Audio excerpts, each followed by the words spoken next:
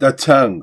In this age of email, texting, and social media, we need to be aware that it is not only the tongue, as St. James warns us in James chapter 3, verses 1 through 10, that has pretensions. The symbol of human expression, the tongue, has the potential to do much damage very quickly.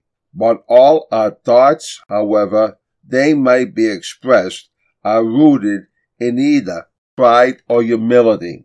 Our pretension, our manipulation of others, our self-inflation, our pettiness, all can be as easily expressed in the written word as in the spoken.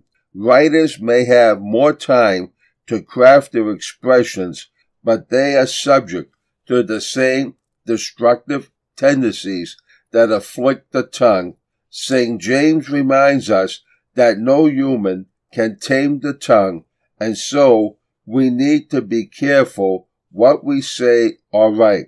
Even more, we need to let God take away every false thing in our hearts, the real source of all our expressions. For more stories, please visit our website, www.pamphletstoinspire.com